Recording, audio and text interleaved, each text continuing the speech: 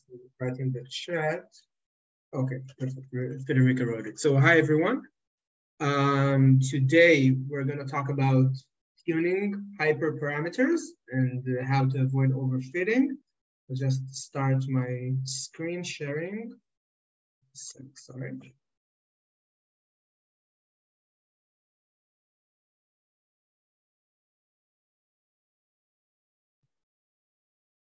Okay, perfect. So uh, do you see my shared screen?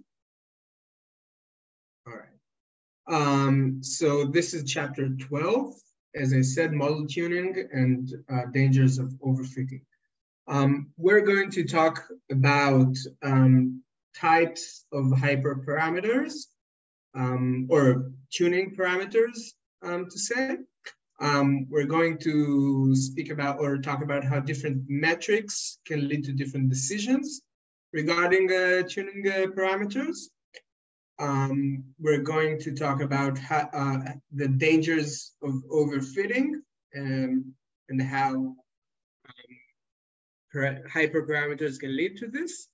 Um, and also uh, talk about um, optimize different strategies, uh, search strategies for um, optimizing hyperparameters. Um, finally, we're going to see how to use the tune uh, function uh, in the dials package and, and, how it's used within the tidy models framework. Um, so first of all, tuning parameters. What are they? Um, so my first, uh, personally, my first intuition to what are hyperparameters or tuning parameters was this first example, as it says here, of hyperparameters, which means um, that a specific model um, has these uh, specific uh, parameters that can be cannot be um, inferred or estimated directly from the data. Um, this is actually the the, how it's defined um, here and also in the book. Um, and, and, for um, a bunch of these models, we have some examples here, like um, in boosting uh, algorithms, which are um, this kind of iterative approach to creating better models, is the number of boosting iterations. Um, ANN, which is artificial uh, neural networks, is the number of hidden units, or like the number of um, layers, so, so to speak, or like the uh, number of parameters within each layer. Um, for example, also random forest, the number of predictors we choose. We're going to, uh, to speak more about random forests later on. So a number of predictors chosen for each uh, tree inside this random forest, the total number of trees, um, and also the number of data points. So these examples of uh, are of machine learning uh, tuning parameters, or so to, uh, also known as hyperparameters. Um, but also when I uh, read the, the, the chapter, uh, it, it also opened my eyes that um, we also have different ki more kinds um, of tuning parameters. For example, in pre-processing, uh, we can tune uh, in PCA principal component analysis when we uh, take a lot of predictors and try to find uh, correlations between similar uh, predictors and to create um, a smaller amount of um, data predictors, so, so, to, say, so to speak. Um, so we need to, to choose what's the number of these extracted components. Um, if we perform imputation, for example, using KNN, uh, uh, K nearest neighbors, but also other algorithms uh, can are relevant, um, then we need we have uh, hyperparameters for this uh, imputation algorithm. Again, for example, uh, K nearest neighbors. Um, so also we have this in pre-processing. Um, and finally, we have them, and this is was brand new to me, um, inside the statistical models themselves, we have structural parameters, meaning um, what is the specific function that performs um, the, let's say, the regression or whatever. For example, if we're performing um, logistic regression, we have um, three different um, specific logistic regression functions. So just to illustrate, um, I was curious myself, myself how, um, what was the difference between, uh, between these. Uh, so I found this picture, which I think is illustrative about uh, the difference between um, the different link functions inside the logistic regre regression. So this is how the um, log, the, like the regular logistic regression function, uh, the probit logistic, reg um, logistic regression function, and the C-log log. Um, the chapter has its more formal uh, definitions, but for me it was um, interesting to see how it looks graphically. Um, so, um, so this is another example for um, for tuning parameters, meaning which one of these functions should we choose um, during uh, well, or when we perform a logistic regression. Um, so I'm going back um, to the slides. So these are all examples of tuning parameters. We had, uh, um, again, hyperparameters, pre-processing parameters, and structural parameters. Um, if you guys have any question, uh, feel free to, to jump in or uh, write in the chat or whatever feels comfortable to you. Um, so these, again, are examples for our tuning parameters. Now we'll look at um, counter examples for when we're not tuning or which parameters we're not tuning. Um, so one example during Bayesian analysis, which personally uh, I only like uh, have a very superficial um, understanding or acquaintance. Um, uh, when we need to choose a prior distribution, which means that um, we have like a, um, a predefined uh, guess or, or hypothesis about um, how the statistics um, are distributed or the outcome is distributed. Uh, yeah, mailing. Oh, oh, sorry. I, I use only, I, me too, I have a very superficial knowledge about the Bayesian, but I thought for Bayesians, you don't have a predefined uh, understandings about the distributions. Like, isn't that, but we, because here you mentioned that we don't tune is uh, we have a prior understanding about how the distribution looks. Can someone elaborate on that, please? Uh, I'll try to answer briefly and then Federica, feel free to jump in because I know you're a statistician. Um, so to my understanding, um, um, we have to uh, create like a this kind of initial hypothesis and then the mm -hmm. analysis itself finds what are uh, um, like what is the so to say real distribution of the of the statistics but um, Federica uh, please uh, feel free Um, would you like to uh, to comment, Federica? Or was my answer correct? I'm, I'm I'll be happy to hear you.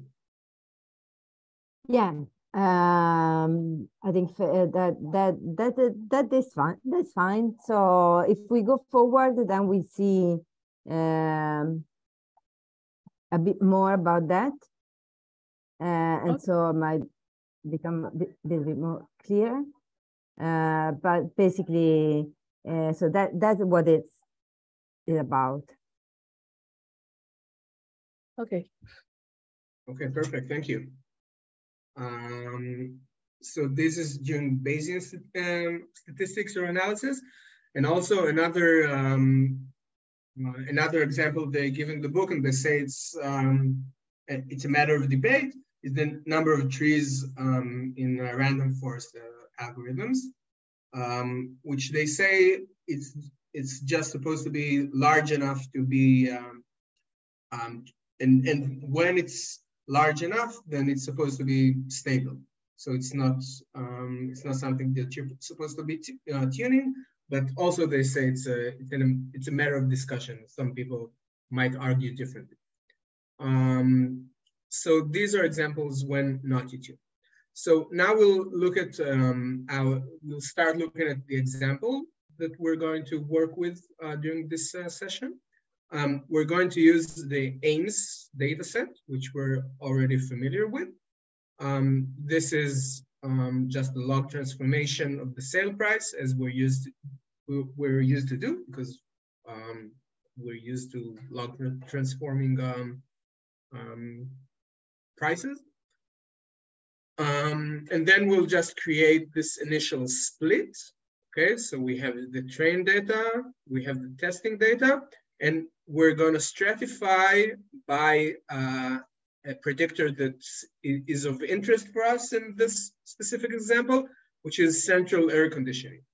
Um, the proportion of the split is 80-20. So 80% of the data is going for the training data and 20% of the data is going to the testing data. Um, if we look at how or what's the relationship between um, sale price and central air conditioning, um, controlling for uh, for year uh, for year of the house. Um, we can see here the bluish dots are um, houses that does have central air conditioning, and the red dots are houses that doesn't have central air conditioning. And we'll later look at how different um, tuning parameters can affect this um, uh, classification problem. Okay, so the problem that we face is how to class or to predict which houses does have or does not have central air conditioning. Um, but we'll face it later. So this is just like a, a, a preliminary um, data work. Okay, so after uh, looking at this, um, where we need to decide which metric um, where are we going to use um, when we um, choose between different uh, different models. Um, so we'll uh, use a logistic regression model um, with three different uh, link functions.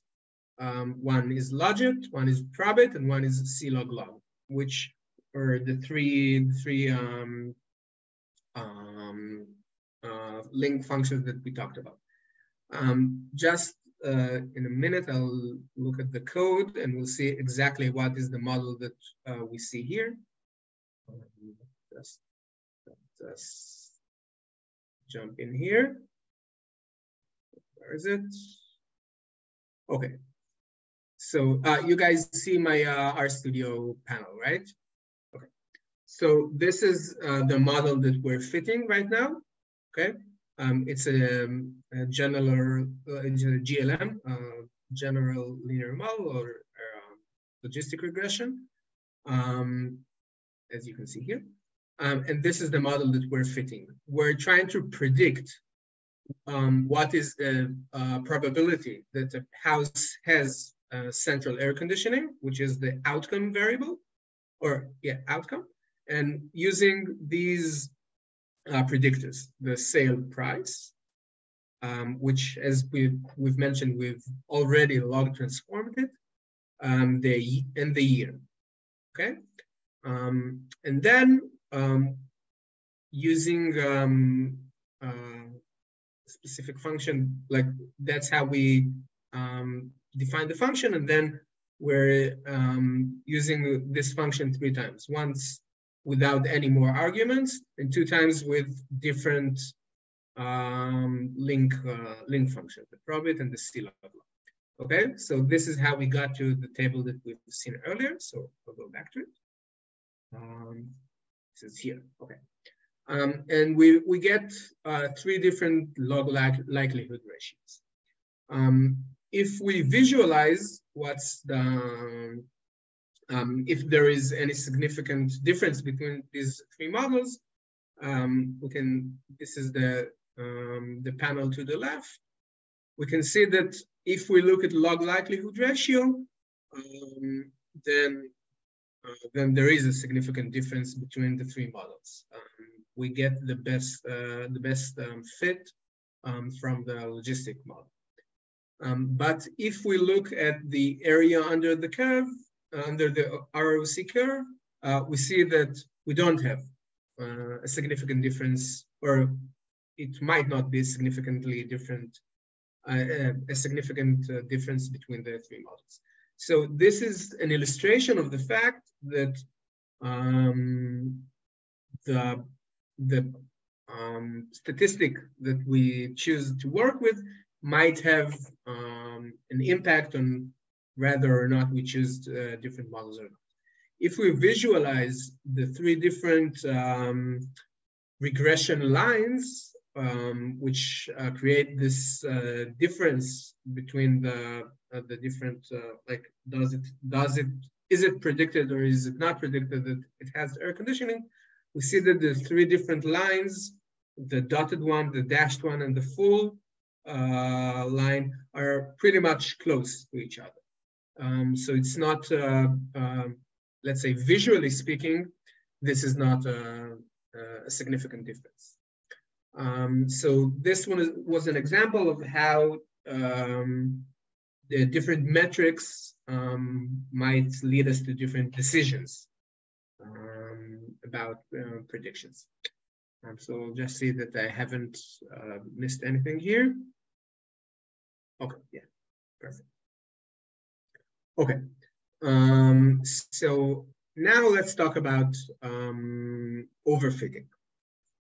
Okay, so overfitting um, is a major concern when we start uh, tuning hyperparameters uh, because um, these uh, very tuned hyperparameters might um, uh, detect patterns in the data which are random and are not, uh, let's say, the, the major patterns or the patterns of interest for us. This is uh, below is an illustration of overfitting. This is underfitting for in a regression uh, context when we try to predict a numerical value. Okay, so let's say we have this pattern in the data. If we have this model, it's underfitting. It, it, it fails to capture the main pattern of the data, which is this kind of uh, parabolic uh, pattern. Um, this is what we're looking for. Okay, so we have this major pattern and our model is able to capture. And this is overfitting, meaning that the model is, um, is also capturing these random or natural, so to say, um, variations within the data. So this is undesired as well. Uh, and this is the problem of overfitting that we're, um, or the danger when we try, uh, when we start uh, tuning. This was in the context of regression, but we also can show it in the context of classification. Imagine we have like this kind of space, uh, predictor one, the first predictor, the second predictor, and we have these two groups, the, the dots and the x's. Um, this kind of, um, of split of, of uh, creating a difference between these two classes is undesired because we fail to capture this kind of diagonal sort of pattern. Um, this is more desired, okay? So um, like this kind of pattern. And also we could even go for something more simple, which is like this kind of straight line. Then we might miss uh, the dot here to the upper right, but it would still be much better than the um, model to the left. But we also, sorry, run the risk of overfitting with this kind of pattern that is um, is too much um, wrapping itself on these random patterns. For example, we might uh, think about this uh, this X here as more of an outlier than a real pattern that's within the data itself. Um, so this is the danger of overfitting when we start the tuning parameters.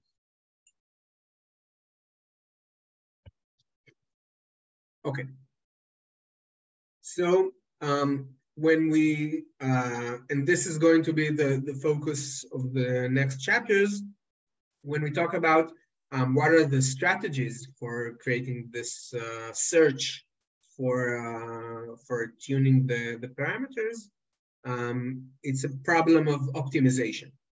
So we have a few, two or here are three uh, major st strategies for countering this problem.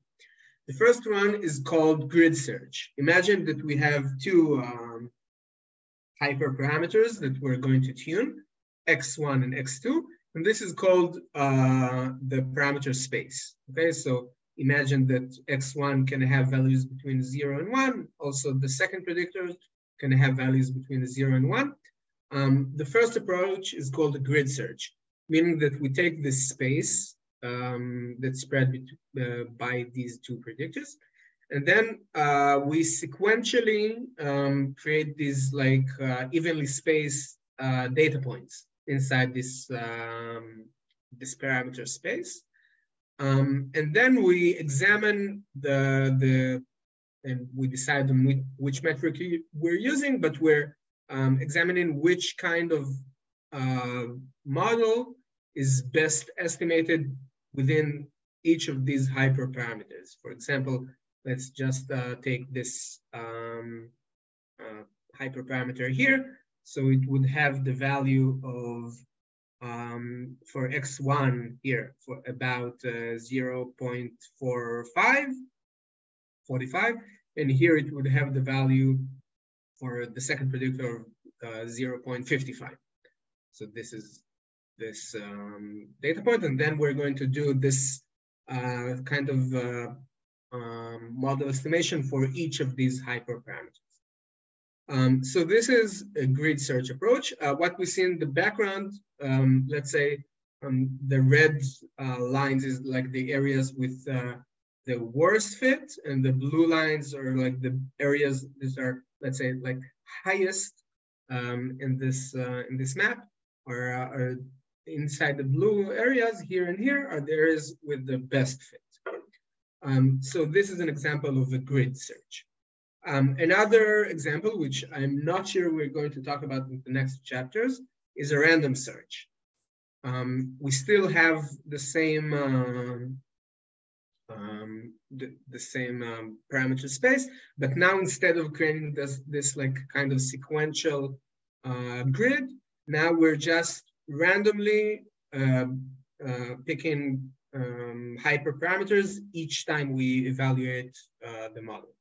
Um, and then where um, the, um, the idea is that um, we're going to uh, just randomly drop on like the, uh, a, uh, a point where it's very close to the best value. For example, here and here, these are two uh, uh, two points where they're very close to the best results of the model.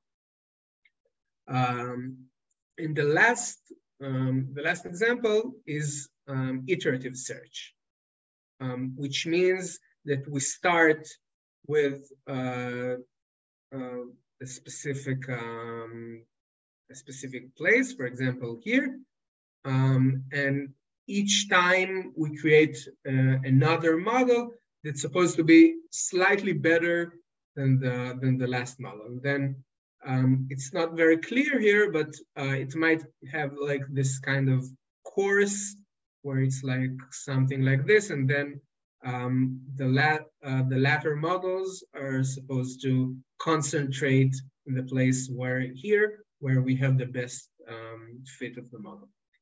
Um, as it says in the book, sometimes uh, you can create hybrid strategies, meaning you can start with a kind of a grid search and then follow it up on with an iterative search um, to find the, the best fit.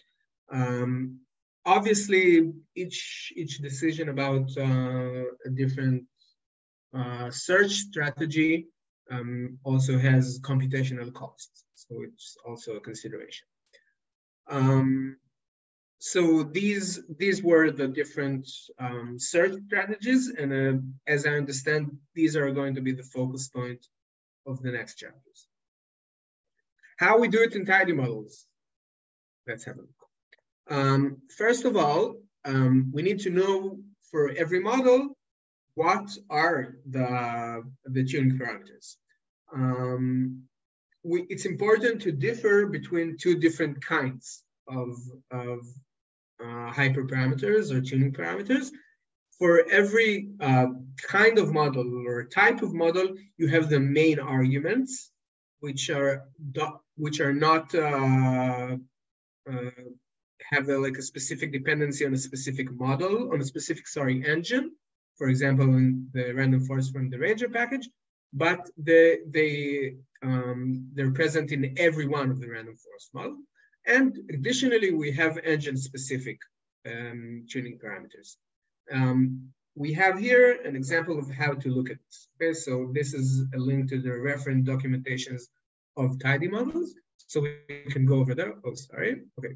Uh, I think it's better to open it in a new tab. Okay. So this is the Tidy Models official website. Um, and we can search here for specific uh, different models. So if we'll start, sorry, that's Hebrew. If we'll start writing uh, RAND for random forest, um, we can see down here that we have, I think, six different types or different engines for the random forest algorithm, um, which are all which are all present inside the parsnip uh, package. So here we can see the different uh, what are these packages engines? Okay, um, for example, here Ranger. Okay, um, and every one uh, of them is, you can call it using this random forest function. Um, so let's go inside this random forest ranger specific function. And here in the details, we have uh, the, uh, the, the details about the tuning parameters. So these are the main um, the main arguments, the main tuning parameters for random forest. M try, which are how many predictors um, we choose for the for a specific tree, um, the um, number of trees uh, for the entire forest, and the uh, minimal min n or minimal node size, meaning how many uh, data points for what what's this uh, minimal size of a uh, or the sorry the minimal number of data points within each node. So this is this actually decides how deep, so to say, is the tree going to be. Um, and additionally, we have here, sorry, where's this? Specific, um,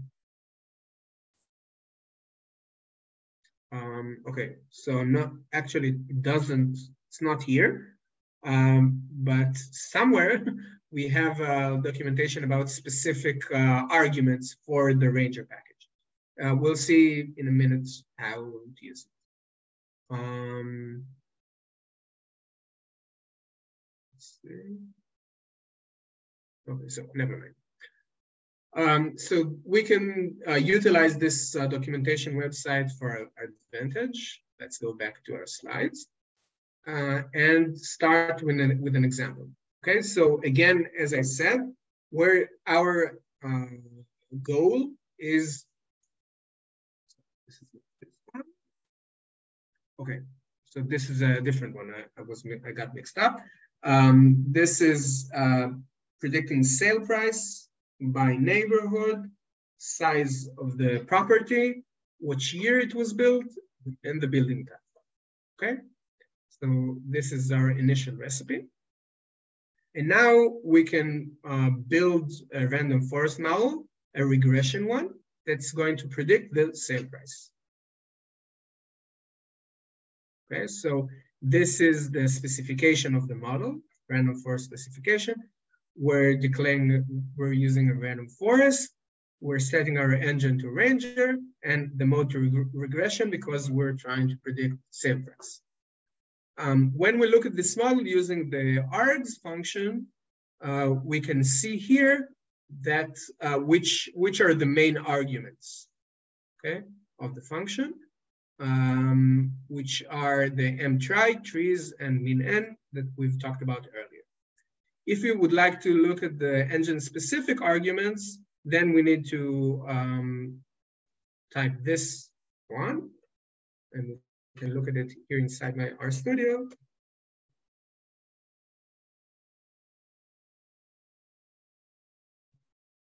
Where is it? Okay, so for example, sorry, we have like a lot of uh, a lot of different uh, um, um, speci model specific parameters. specifically, I want to focus on the regularization factor, which is a kind of penalty, um, similar to uh, to how uh, adjusted R square works when when when you add more uh, predictors, then the R square is uh, is a bit lower because you have like this kind of penalty. So this is another uh, similar kind of, uh, of, penalty. Okay, so this is another uh, engine specific for the Ranger package hyperparameter. Um, so I'm going back. Wait, uh, I just yeah, want to make I got things correct. So you mentioned the regular regularization. So that one is as you add more parameters, you will be penalized, is it? Um, yes, maybe Federica would uh, is able to elaborate so, more, but as I understand, yes, uh, when you have when you insert uh, more predictors to each tree, then the um, you have like this kind of small penalty because uh, you you have like a greater risk of over, overfitting. So this is kind of mm. uh, an attempt to control for overfitting. Federica, would oh. you like to to say something more, or is it? Uh, what I can say more that that's the uh, that are these um, these um, parameters called hyperparameters are uh, when you tune them you use them to um, basically uh, such as a grid search. Okay, you you perform such as a, a grid search, mm-hmm. um, mm-hmm. and you try different values uh, to minimize the uh, the matrix. in this case, um, uh, the um, um, residual sum of squares.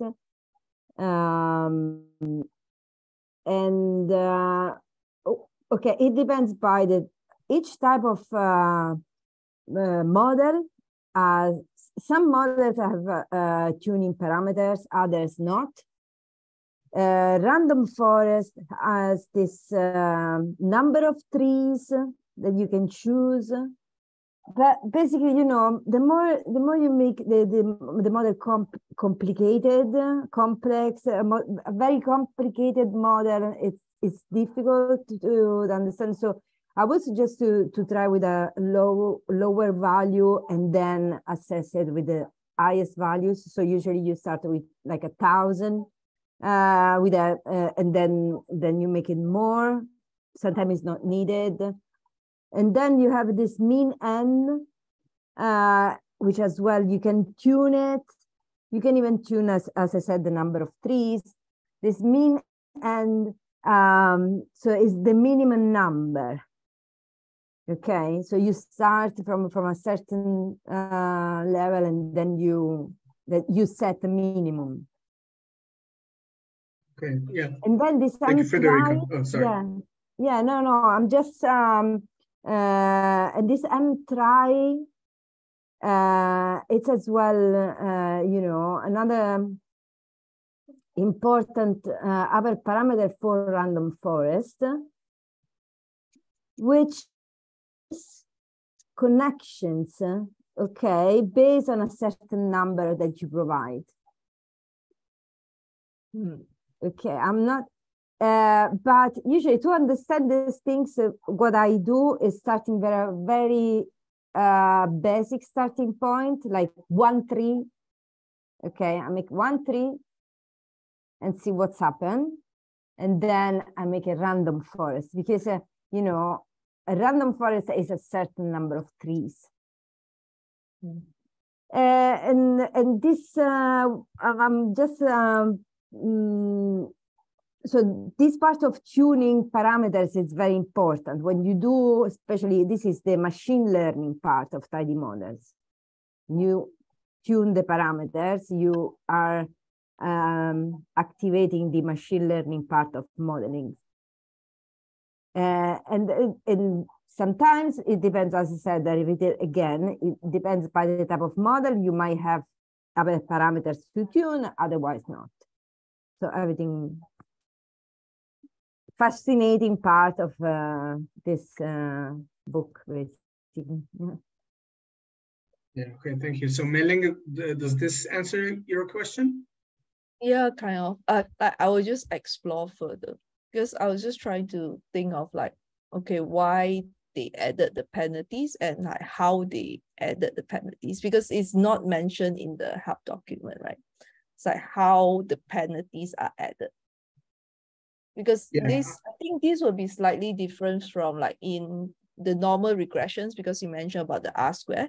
So how they added penalties was they added, they adjusted the, uh, they have this adjusted R squares. Those are the penalties added. But I'm not sure how this really applies in this random forest tuning. Okay, the penalty is another uh, other parameter. Mm-hmm. But it's, it's, he mentioned that was the penalties added in the regularizations, right? So is is in the formula, isn't it? When we put in the regular, yeah. So, okay. Yeah. Yeah, um, actually, that's a good question. Yeah, I'm not really sure. So maybe you can explore it and come back to uh, to us uh, next week, with the, and we'll all be smarter. Yeah, uh, yeah, because you, you we have uh, penalties uh, such as this exact name as a hyperparameter on other type of models that we'll see in the next uh, use case that we uh, will be going through uh, very soon, I think. And then um, mm, so here uh, you can uh, specify this regularization factor, which is very interesting things, yes, um, as an option in the engine. Yeah. Okay, um, so just, I think we'll continue, if that's fine. Okay, um, so this is an example um, of the same uh, thing that we did earlier, but now with uh, tuning. Okay, so um, in the last slide, we've uh, built like this normal quote unquote um, random forest model, but now we're um, we're tuning it. Okay, so we're inserting inside the random random forest function, we're inserting the tuning the tune function for our our uh, main arguments for the m try and for the min n. Um, trees, uh, we just set to 2000 because of what we said earlier. And inside the set engine function, we call the ranger um, engine. And then in here is where we insert the engine specific um, uh, hyperparameters. Um, and we insert it with tune. Uh, and this means, um, this is like kind of the ID, so to say, or like the name of this specific um, hyperparameter. Yeah, um, and we set the mode to regression. If we want to look at um, how it looks, we can call the parameters function. Actually, um, when I did this, I noted noticed that it was deprecated, um, and um, the new um, the new uh, uh, best practice is to use the extract parameters set dials, as it said also in the chapter. Um, I can uh, show it to you here. Um, we go downwards. Sorry. Okay, yeah. So this is um, this is the new um, best practice.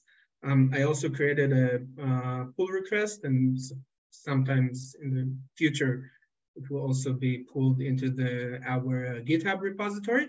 So um, this is the function that we use, the extract parameters set dials, um, to look at the parameters. Um, we can continue continue here if it's fine with you. Um, and what we get as output is the parameters for tuning. Okay, so we have m try, min n, and reg, which is the name we gave to the regularization uh, factor. Um, uh, on the side of every object, we have like these uh, square brackets with either a plus or a question mark. A plus means that we have uh, all of the all of the details, all of the all of the um, met metadata for uh, the specific um, tuning parameters, and it's like it's a it's an okay sign. It's, you're good to go. But when we have a question mark, it means that we need to add uh, a bit more uh, more knowledge to this specific hyperparameter in order for it to be tuned.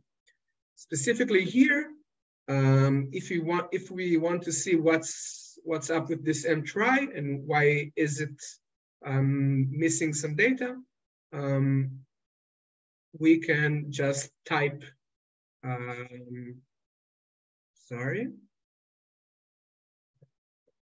We type mtry.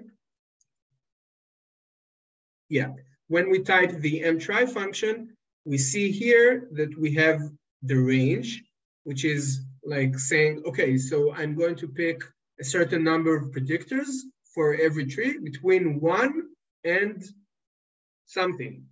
But the algorithm needs some kind of edge to know uh, in what range is it does it supposed to, to look for the best uh, the best hyperparameters. Um, so this question mark here says, okay, we need to update the, the higher uh, end of the range. Um, and if we type uh, min n, we'll see that we have um, a, a, full range, which is uh, just like kind of uh, um, a predefined uh, default. We can also update it if we, if we want, but this is the default of typing um, for the minimal size of, of, each node.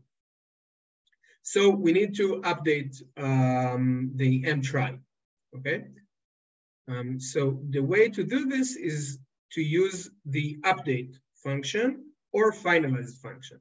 Uh, update uh, is like doing it manually and finalize is doing it automatically. Um, if we use the update function, it, it's important to understand it's, it updates in place, meaning that we're not assigning here, uh, look at this code, we're not assigning, we don't have this like kind of sign arrow, so we don't have it. Uh, we update the, the hyperparameters in place using the update function. And again, we have the model specification um, we're using uh, this extract parameter set dials function, and then we pipe it um, to the update function. And inside the update function, we add um, the, the new data uh, for the mtry hyperparameter. So we say to the mtry hyperparameter, okay, so go between one and four. Okay, so this is the way to, to do it. So if we run it right now, we'll see that we have now a plus in our mtry. And additionally, if we just run this, it's supposed to also um, have a plus. This is the meaning of update in place, that even after we've run this code, oh, sorry, so it's not the case. Um, so it just means that we can pipe it later into, uh, into more functions. So my understanding of this was a bit wrong, but now try. Um, yeah. So this is uh, like a manual approach uh, where we can define bar like ourselves um, the range for the mtry. But another option is to use um, the finalize function okay? Um, the finalize function is uh, like a more uh, automatic, so to say, approach. Um, so uh, again, we, we can create uh, like this workflow, this model specification. Uh, we're adding a recipe, and then we're using, again, the same function extract param parameters set dials and finalize um, and we, we use this function with our train. What it gives us is,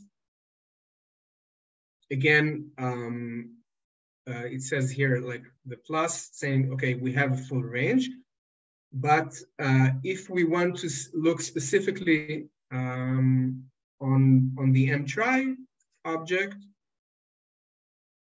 hmm, this is deprecated. I think we're just supposed to, sorry, do this one.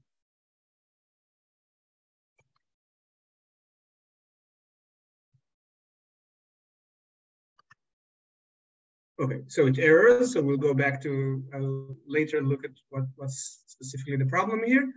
But if we go back to our slides,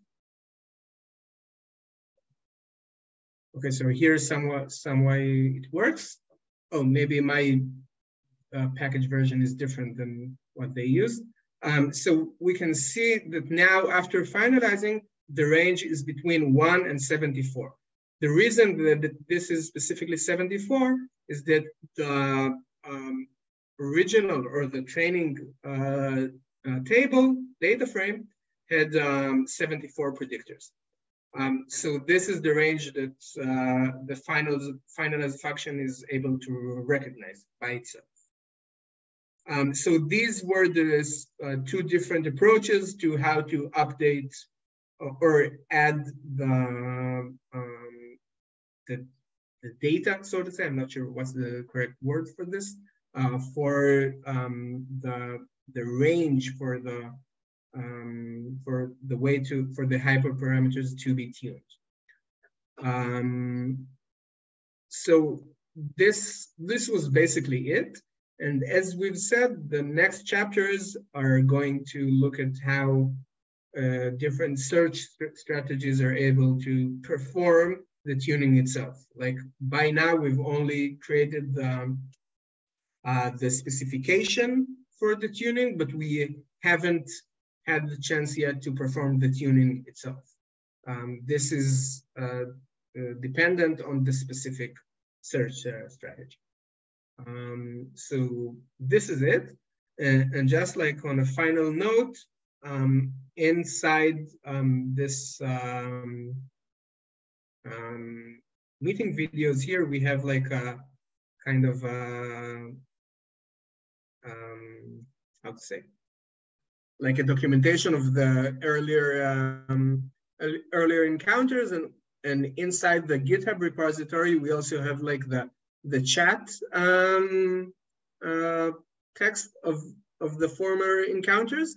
And, and I, what I've noticed is, I think it was in the last cohort, that also they were also um, very curious about their regularization regularization factor. Sorry. Um, so yeah, here that's Federica. so this is just uh, something nice that uh, I noted. Uh, so yeah, this is it. So thank you, and please uh, feel welcome to ask questions or to add more thoughts or notes of your own. So thank you. Thanks, Matan. That was really nicely presented. I understood it a lot better than when I read the chapter. So that's really nice. Um, I still find um, sometimes I find the kind of the syntax of how it's done in tidy models a bit confusing, like the way that you're kind of, if I understand it correctly, like as you said, you don't assign, you're just saying like, oh, update it with um, like mtry is this, the range is this. And I sort of kind of expect to be assigning that, that back to something, but instead I need to kind of treat it as like it's an update that's just going into the previous model, right? Yeah, I think it's like built in order to be piped. Like it's yeah, like that's that's the framework, and um, it's also for me it's it's a bit confusing, and also I think um, one of the reasons that it, it has yet to really settle in is because I don't have like a specific project where like I can really utilize all of these like different uh, functionalities or utilities. Uh, but I guess, I don't know, but I guess like after you do it like once or twice or a bit more, then it feels like more natural. But uh, I, I see your point and I, I feel um, um, the same way, I guess. Yeah. yeah, I think it's like it's a way that kind of makes sense, but you just have to get your head around it. Yeah. So thank you, Freya. Any more uh, thoughts or uh, Uh, I don't remarks? really have other thoughts, but thank you for the presentations and for answering all my previous questions. It was a very nice presentation. I, I will look into the regular, uh, regularizations factors, and I'll maybe update you guys in the chat before the next meeting. perfect? Thank you. Okay, so who uh, would like to be our next presenter? If any of you would like to present next chapter, or otherwise I'll do that. We have um, some interesting uh, chapters, uh, grid search or iterative search, which are both very interesting. Um, so it's up to you if you'd like to have a go, maybe. Okay, let, Yeah, let it sounds like it's for you next time. no, that's okay. That's okay. For me, it's fine. Um, so we'll catch up on Slack. And thank you very much for this presentation again, uh, and to all of you for attending the session. Thank you. All right. Thank you so much. Bye bye. Have a good day.